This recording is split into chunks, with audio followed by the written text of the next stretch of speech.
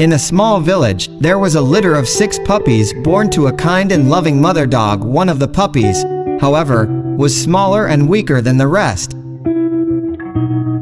His brothers would often push him out of the way during mealtime, leaving him with very little to eat.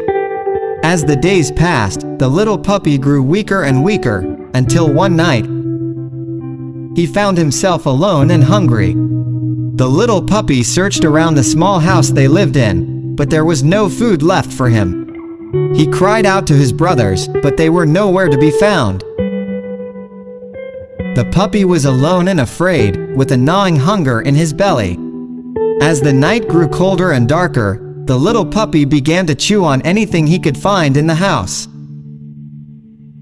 He gnawed on leather purses, wooden furniture, and even scraps of cloth.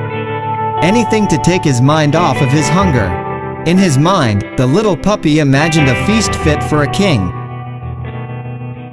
He imagined himself eating juicy steaks, crispy chicken wings, and a mountain of dog biscuits. As he chewed on his makeshift meal, the little puppy began to feel a little better.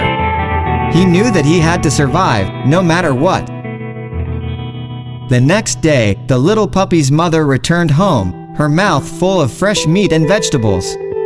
She immediately noticed her little pup's weakened state and knew something was wrong. The mother dog comforted her puppy and licked his wounds until he felt better. From that day on, the mother dog made sure that her little pup had enough to eat.